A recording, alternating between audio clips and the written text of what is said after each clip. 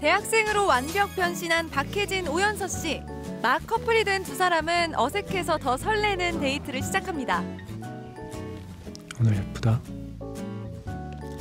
소소하고 평범한 데이트를 이어가는 두 사람의 달달한 모습은 영화를 보는 내내 훈훈한 미소를 머금게 할 예정이라는데요. 커피 아니요.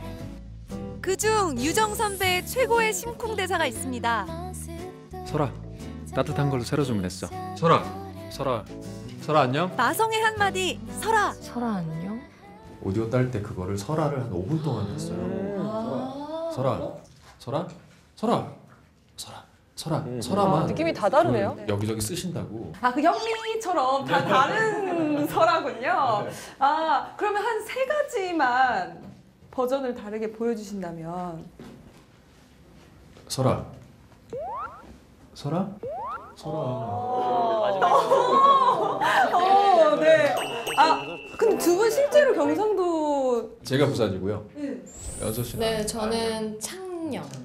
어, 근데 나, 네, 자 저는 여기서 그냥 지나갈 수 없죠. 설아. 네?